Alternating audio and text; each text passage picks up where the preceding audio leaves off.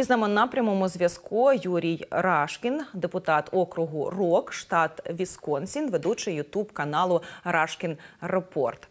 Пане Юрію, рада вас вітати. Дякую, що долучилися до нашого ефіру. Большое спасибо за приглашение. Очень рад и слава Украине. Героям слава. Спасибо за вашу поддержку. Э, перейду на русский для большего понимания. Юрий, чего вы ожидаете от э, выступления Джозефа Байдена, э, от переговоров, это да, первоначальные с Анджеем Дудой, которые уже начались, и потом, по информации, Джозеф Байден выступит перед польским народом и обратится к русскому народу. Ваши ожидания и результаты, как вы думаете, какие будут? Знаете, то, что мы видим от э, президента Байдена, это невероятное понимание того, насколько важны слова, жесты э, и символика. В то время как э, Владимир Путин выступает и говорит перед своими собравшимися непонятно о чем и придумывает какую-то альтернативную реальность, в это время президент Байден стоит Э, в Киеве с президентом Зеленским, потом в Варшаве, а, и действительно показывает, что он, э, что он как бы представляет э, отсутствие страха перед путинским режимом, который, в общем-то, на это и давит. Ведь главные скрепы путинского режима – это страх и деньги. Деньги у них кончаются, с их ископаемым топливом Европа уже распрощалась, Америка тоже – Э, так что деньги у режима будут уменьшаться э, и заканчиваться, а, э, а страх – это то, что нужно побороть, во-первых, внутри себя, во-первых. И мы видим, насколько эффективно помог это сделать президент Байден всему миру и НАТО, в частности, объединив наших союзников еще до начала полномасштабного вторжения в прошлом году – Э, когда союзники по НАТО уже, которые нервничали после того, как предыдущая администрация вела себя в отношении и Путина, и НАТО, теперь видят, что другой американский президент означает возвращение к американским ценностям и возвращение к пониманию тому, насколько важны союзники, которые, с одной стороны, продолжают рассчитывать на военную поддержку Соединенных Штатов, а с другой стороны, увеличивают собственные оборонные бюджеты, потому что понимают, что в Америке, как и в любой демократии, есть выборы, и выборы по своей природе до конца не могут быть предсказаны. Поэтому а, то, что сделал а, Байден, приехав, показав, насколько он а, поддерживает и союзников, и Украину, в каком-то смысле это подняло историческую планку того, что следующему лидеру нужно будет сделать для того, чтобы показать, что он или она круче Байдена. Потому что до вчерашнего дня, в общем-то, всех сравнивали с Рейганом. Рейган в Западном Берлине сказал мистер Горбачев, а, унич... Э, снимите, как бы, ну, сройте эту стену, да, и как бы до сих пор мы говорили о том, что вот, э, вот Рейган был, да, Рейган был, а теперь Байден есть. Поэтому теперь всех будут как бы сравнивать себя э, с американским президентом, который оказался в Киеве во время, там была ну, сирена воздушной атаки, и, и все равно президент э, вышел и, и прошелся, и выразил поддержку, и почтил память погибших, и, в общем-то, провел свою программу встречи, как он и планировал, хотя нам об этом не говорили. Но это не обязательно важно, в конце концов, война идет. Поэтому что он может сделать сейчас в Польше, это, во-первых, он может еще больше объединить союзников, но он может также э, поговорить о будущем нашей совместной обороны против э, российской угрозы, которая является угрозой не только Украине, не только Европе, но и всему миру. И э, президент Байден, как никто это понимает, из-за его исторического, политического опыта сенатора, который занимался именно э, международными делами в течение многих десятилетий. После этого был вице-президентом 8 лет – а сейчас уже а, идет, э, собирается идти на перевыборы, хотя это тоже отдельный разговор, но э, это, это, э, эта личность теперь как-то перешла на, на исторические масштабы. И поэтому Мне кажется, это очень важно, то, что он а, продемонстрировал а, поддержку Украины, сейчас он демонстрирует поддержку Польши. Если будут какие-то определенные заявления о передаче самолетов, о передаче тех или других самолетов, или об, об обучении пилотов, или о, о производстве боеприпасов, амуницией. Все это сейчас как бы кружится в воздухе, и все это движется как, как один большой снежный ком э, против Владимира Путина, который, э, э, про которого пишут, сколько раз ему зал аплодировал и сколько раз они аплодировали стоя.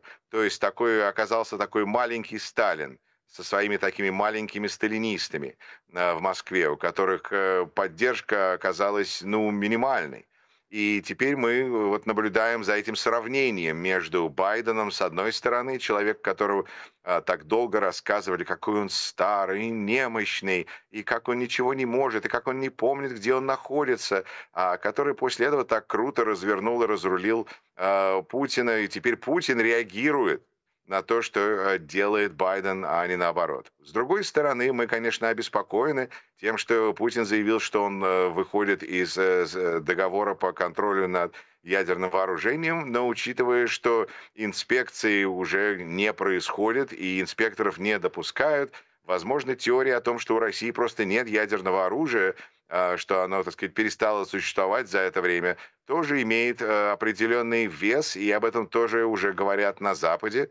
А, и это тоже одна из теорий, потому что Путин так долго грозился тем, что у него сейчас, вот сейчас он, сейчас он использует это, а с другой стороны продолжал, в общем-то, не использовать, что очень хорошо, но даже не тестировать, не проверять, так сказать, появляется сомнение о том, есть ли это Э, есть ли это оружие э, и насколько эта угроза вообще реальна. Поэтому страх перед Путиным продолжает падать, э, деньги Путина продолжают кончаться, в то время как Запад и западные союзники сплочены как никогда. Как вы думаете, Байден обратится с определенным посланием к Путину, и, возможно, это будет определенное последнее предупреждение для Путина? Я думаю, что послание будет, но предупреждения закончились.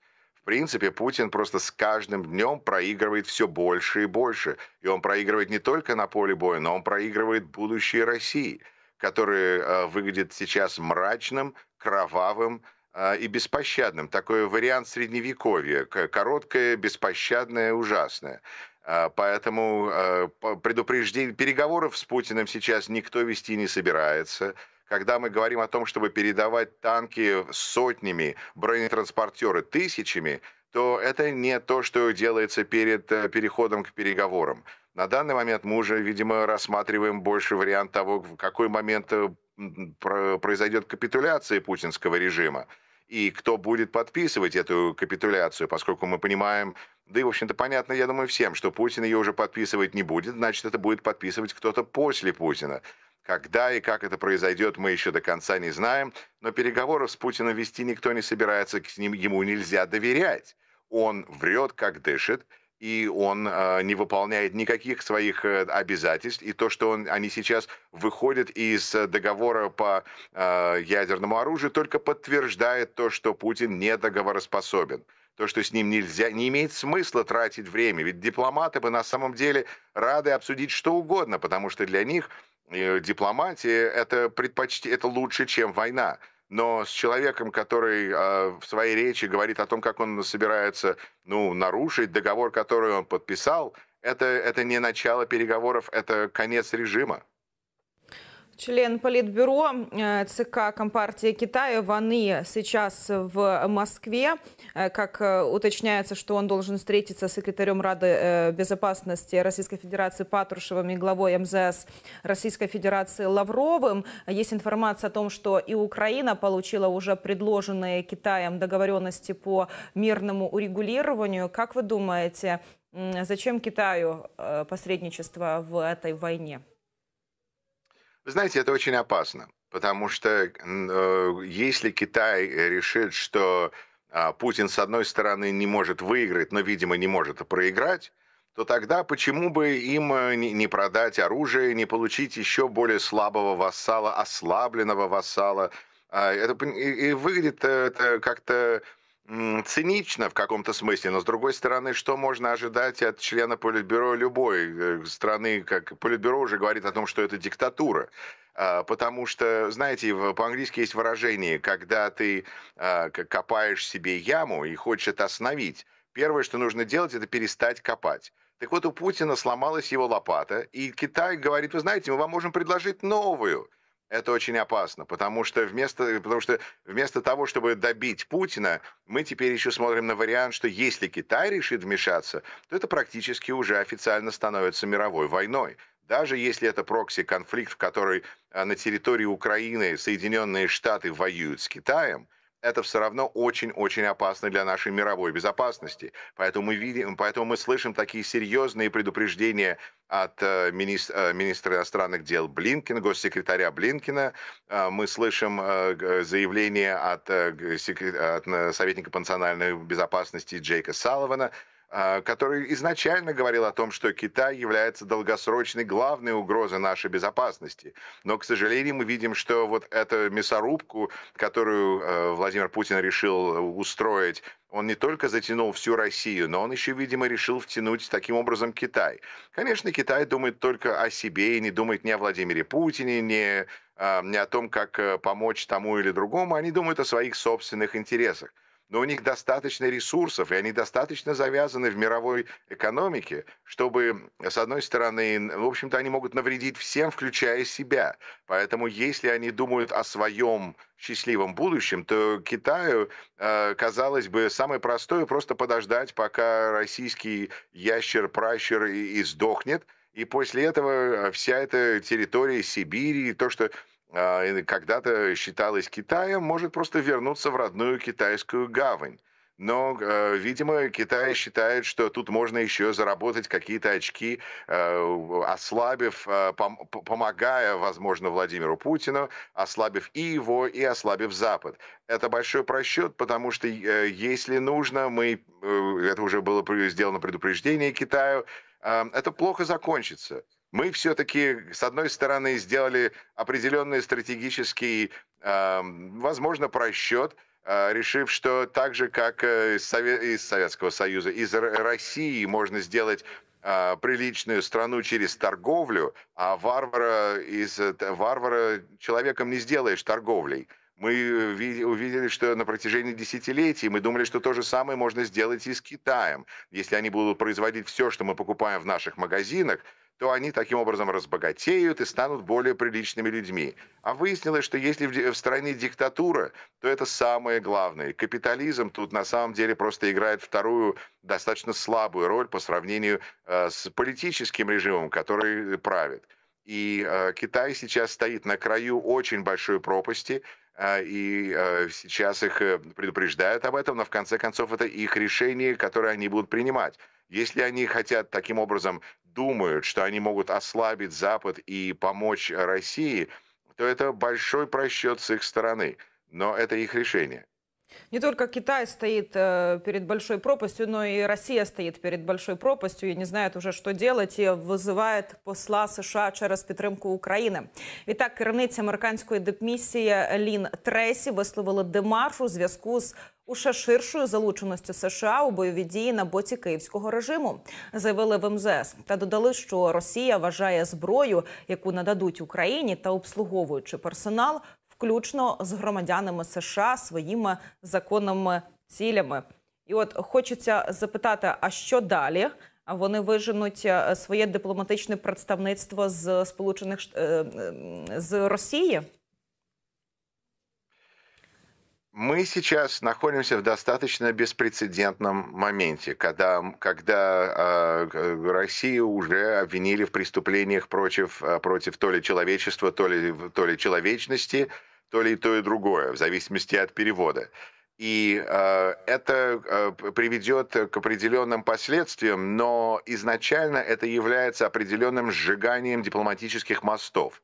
Потому что режим, который обвинен в таких преступлениях, это не режим, с которым можно допустить э, вести переговоры приличным людям. Мы сейчас э, движемся все ближе и ближе к моменту, когда Россию объявят э, страной-спонсором терроризма, еще и для того, чтобы отпугнуть Китай.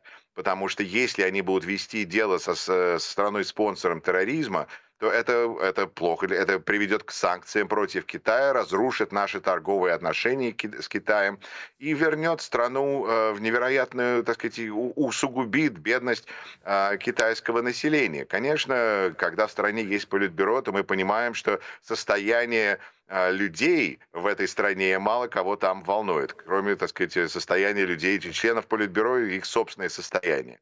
А, поэтому если э, мы будем наблюдать какие-то прекращения или остановку дипломатических отношений. А, к сожалению, мы находимся в таком моменте, когда мы сейчас просто идем по этой вот по этой лестнице вниз, и каждая новая ступень означает еще более разрыв между э, странами. И это не то, что хотели бы видеть дипломаты, потому что дипломаты понимают, что общение и коммуникация – это то, что может предотвратить конфликт, может закончить войну. Но у Владимира Путина нет никакого желания ее заканчивать. И когда вы сказали, что, край, э, что Россия стоит на краю э, этой пропасти, я с вами не согласен. Мне кажется, что Россия туда уже рухнула что Россия туда летит без парашюта. Ну, возможно, они думают, что у них есть что-то, но у них нет ничего, кроме сломанной лопаты. Поэтому надо понимать, что все, что, что происходит, это вина Владимира Путина и его преступного режима. Что какие бы действия тут не предпринимались уже а, разными сторонами, Владимир Путин может остановить эту войну сейчас же. Он может остановить это в любой день. Но вместо этого мы просто видим э, эскалацию по нарастающей. Пока это эскалация дипломатическая, и это идет в смысле разрыва, потенциального разрыва отношений. А, но мы уже слышали, что американским гражданам срочно а, рекомендуется покинуть э, Российскую Федерацию. А, так что тут ничего хорошего ждать нельзя. Но, с другой стороны, дипломатические отношения это все-таки не сражение на поле боя. Посла можно отозвать, посла можно вернуть. Погибших людей вернуть к жизни невозможно. Сто процентов, Юрий, согласна с вами. К сожалению, каждый день мы э, должны обсуждать в эфире, сколько людей умерло. Это очень и очень печально. Мы надеемся на то, что как можно быстрее весь этот ад закончится. И как вы говорите, что Россия давно уже упала в свою пропасть, действительно так и будет. Юрий Рашкин, депутат округу Рок, штат Висконсин, ведучий ютуб-каналу Рашкин Репорт, был с нами на зв'язку. Э, господин Юрий, я вам благодарна, что присоединились к нашему эфиру и благодарна вам за вашу поддержку.